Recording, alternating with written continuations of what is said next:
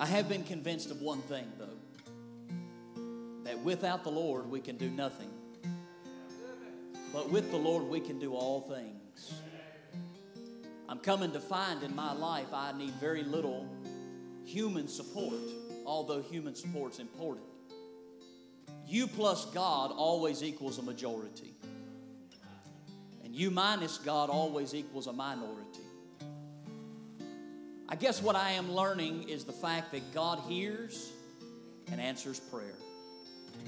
He's a prayer answering God. I've often wondered how I have gotten to where I have gotten. Because it's been very recently that I guess that I have learned just the minutia of praying. I guess that would be because somebody was praying for me.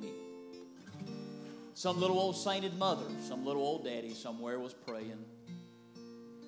I preached up at Brother Ralph's Jubilee last year when I preached up at Brother Ralph's Jubilee. I preached that morning, and I actually preached that morning what I'm going to preach this morning. I have only preached that message one time. I never repeat messages, I, I just don't do it. And I never preached that message beyond that day. That afternoon, we sat down at lunch, and a lady came up to me and tapped me on the shoulder, and she said, Are you Tyler Gaulden? I said, Yes, ma'am, I am. She said, I'd like to speak with you. Woman looked to be in her, her late 50s, early 60s. She said, I need to tell you something. I said, All right.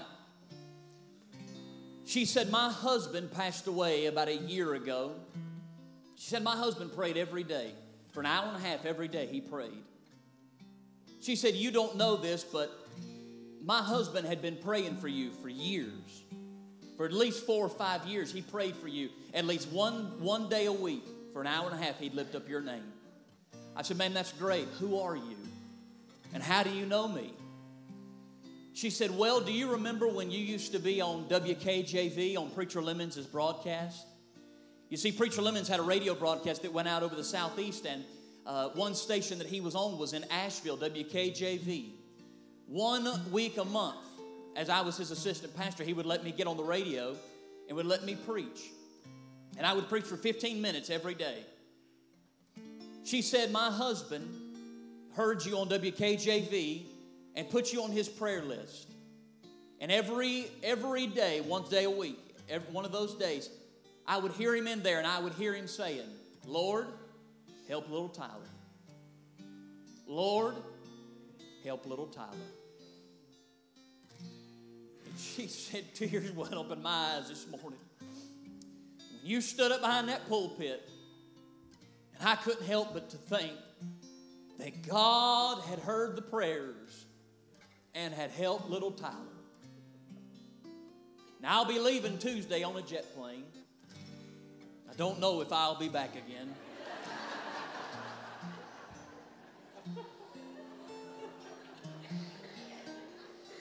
but I do know this. This may be a ragtag group of people in this room. No high and lofty people. You do not have a high and lofty preacher. You have just an old Gideon that God pulled out of the farm field somewhere because of the prayers of the saints of God. I am what I am. Listen to this song. We, me and Dwayne were practicing last night. I want you to listen to it. Somebody's praying for me.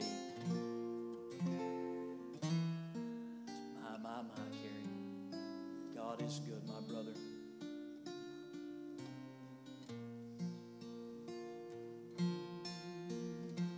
Somebody's praying. I can feel it. Somebody's praying for me. Mighty hands are guiding me, to protect me from what I can't see. Lord, I believe. Lord, I believe that somebody's praying for me. Angels are watching, I can feel them. Angels are watching over There's many miles ahead till I get home. Still I'm kept before your throne. Lord, I believe. Lord, I believe. Your angels are watching over me. Well, I walked a barren wilderness where my pillow was a stone been through the darkest cavern where no light has ever shone, but still I went home, cause there was someone who was down on their knees. And Lord, I thank you for those people praying all this time for me.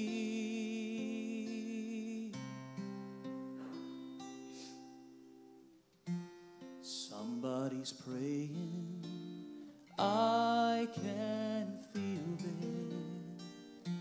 Somebody's praying for me.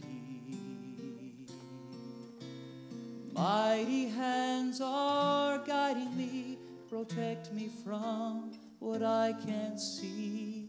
Lord, I believe.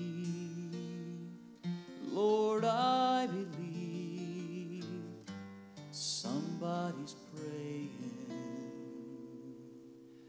for me.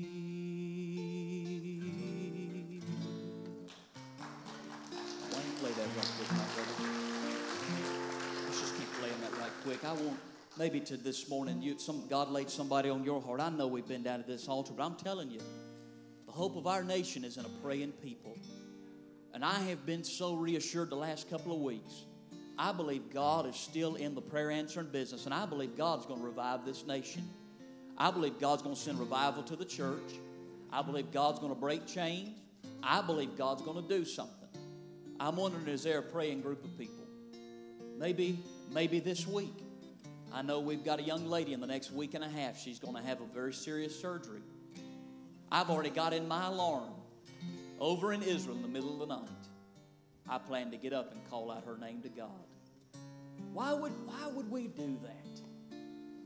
Because we're nothing without the Lord, but we're everything with Him. I want us to come this morning, Brother Carey. I'm praying for you, Daddy. God's heard and answered prayers, my brother.